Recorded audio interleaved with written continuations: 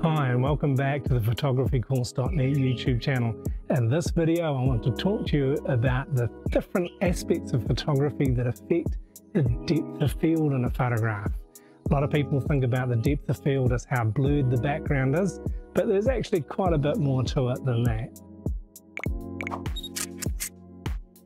The depth of field in a photograph is the distance between the closest point to the camera and the point furthest away from the camera that is acceptably sharp. In any photo you can have a great variety in how much depth of field you've got depending on a number of different factors and I'm going to talk to you about those in this video.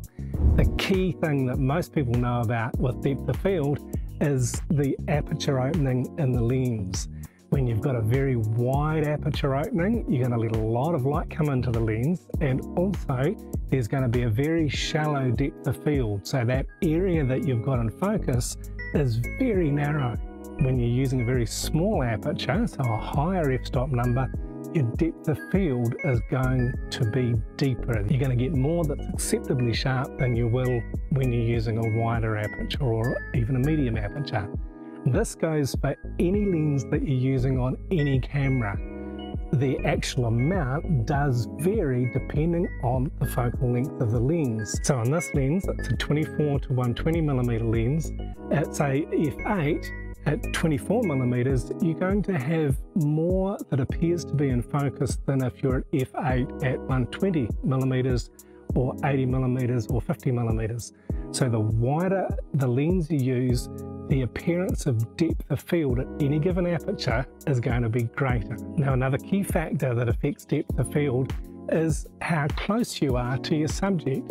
When you're taking landscape photos and your subject is way off in the distance or that you're capturing a broad vista that's farther away from you, then you're going to get a deeper depth of field no matter what lens or what aperture you're using on that lens because your focus point is further away from the camera.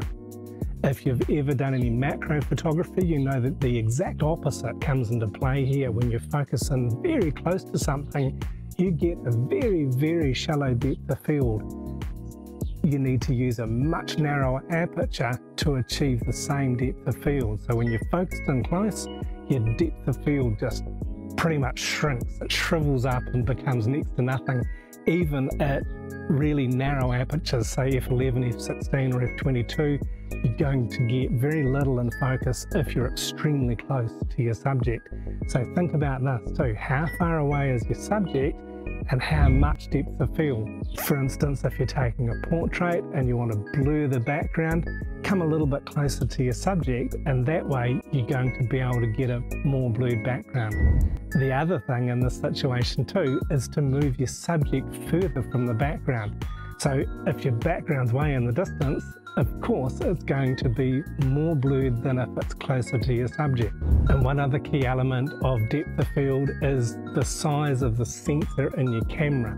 So the larger your sensor, the shallower the depth of field you will be able to achieve. So if you're using your phone to take photos, you'll notice that it's actually really quite challenging to get a shallow depth of field and to get a nice blurred background when you're using your phone.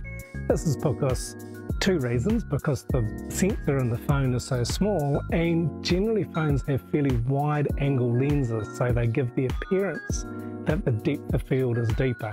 Keep in mind that there's aperture, there's focal length, there's distance from the camera to the subject and the subject to the background and there's also the size of the sensor and these things all affect the depth of field. Thanks for watching. I hope you've learned something in this video. If you have, give us a thumbs up and click that subscribe button and the bell icon so you can stay up to date each time we release new videos.